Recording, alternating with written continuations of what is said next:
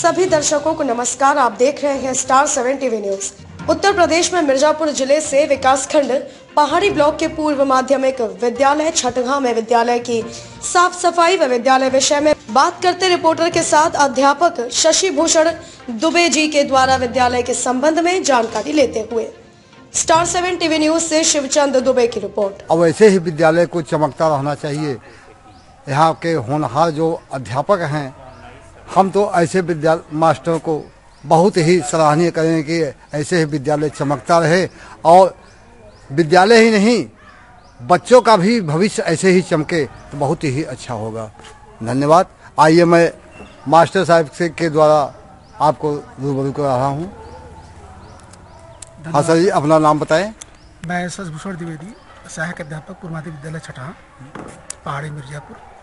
मैं सहायक अध्यापक के पद पर कार्यरत हूँ।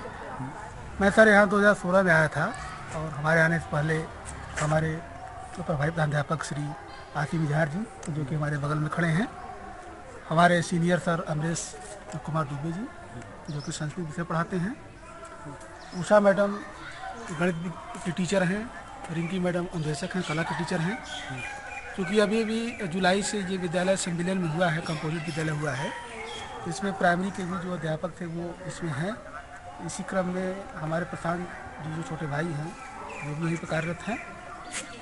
और यहाँ का पठन पाठन हमेशा से अच्छा रहा है। यहाँ के विद्यार्थी भी अच्छे अच्छे पोस्ट पर गए हैं पर।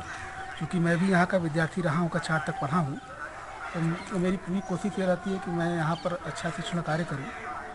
और इसके लिए हम लोग काफ़ी सचेष्ट भी रहते हैं। और लगभग विद्यालय के सभी स्टाफ जो है, बहुत मेहनती हैं कर्मठ हैं समय से आते हैं। और शासन के मंशा के अनुरूप जो भी सरकारी योजनाएँ चल रही हैं उसका हम लोग आदेश का पालन करते हैं और समय से जो भी शासन द्वारा जैसे स्वेटर हुआ निःशुल्क किताब हुआ ड्रेस हुआ आज सबका वितरण किया जा चुका है।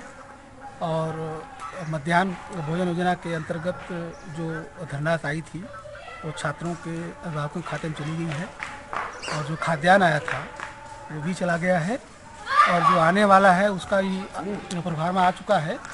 और वो भी जैसे ही कोटेदार के यहाँ खाद्यान्न आता है और शासन के द्वारा धन आवंटित होता है तो उसके क्रम के तहत हम लोग उसको ट्रांजेक्शन करा देंगे। और रही बात इस समय पठन पाठन की तो चूँकि कोविड नाइन्टीन के तहत तो विद्यालय बंद चल रहा है लेकिन हमारे जो अध्यापक हैं वो मोहल्ला क्लास को चलाते हैं और समय समय पर हर मोहल्ले में जाते रहते हैं और अपना शिक्षण कार्य भी कर रहे हैं और इधर शासन के आदेश के क्रम में चूँकि जो ट्रेनिंग ऑनलाइन चल रही है निष्ठा की प्रेरणा के द्वारा चूँकि आज हम लोगों की परीक्षाएँ थी तो इसलिए हम लोग